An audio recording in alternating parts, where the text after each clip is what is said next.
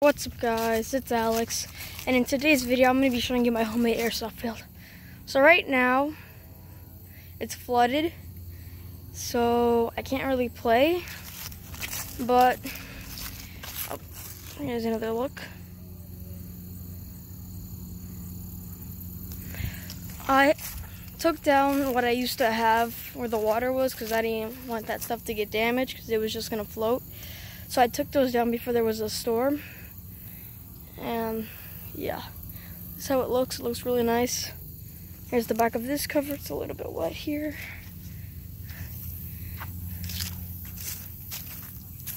Back of this one. The back of the wheelbarrow I can't really show you because it's really wet back here but I'll give it a try. There you go. There's the wheelbarrow. You can sit there and then there's another piece of wood you could hide between and here's this one. This could fit about two people. So yeah, this was today's quick video. Here's another look at the field. I will have gameplay once the water unfloods. And I'm going to be doing two gameplay videos here. And then by the time it's December, on December 6th, 4th, or 5th, we're going to try to make an airsoft field.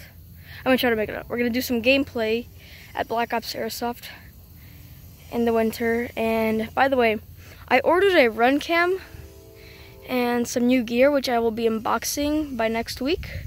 So this is my homemade airsoft field. Hope you guys enjoy this video, and I will have more updates for this field because it will be getting bigger. I'll be adding tires, more wheelbarrows like this one right here and I will take that back there. I take that, that that bench. I'll take that down and use that for materials too. And I might put that green gate somewhere else and add some cover to it.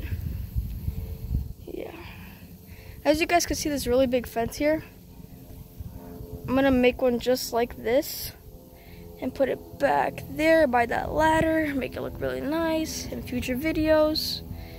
And I might have something like this like make it look like a ceiling theme Okay, hope you guys enjoyed this video. This is my homemade airsoft field, and I'll see you guys later.